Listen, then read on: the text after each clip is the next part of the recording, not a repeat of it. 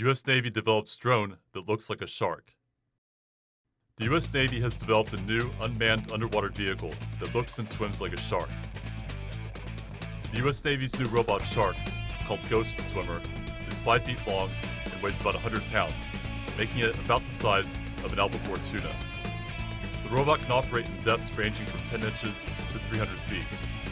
It can be controlled via a 500 foot long tether and transmit video and data in real time.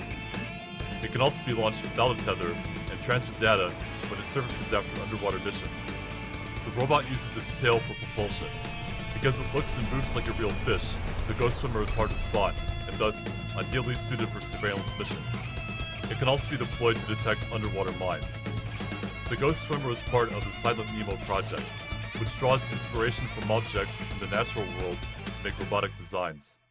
See a story that really should be animated? Suggest stories to TomoNews now.